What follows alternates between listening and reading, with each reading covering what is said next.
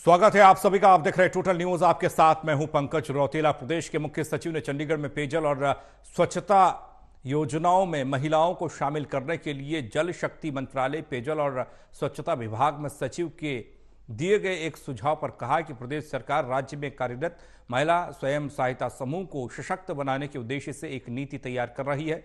बता दें कि राज्य में जल जीवन मिशन और स्वच्छ भारत मिशन की प्रगति की समीक्षा के लिए एक बैठक बुलाई गई थी।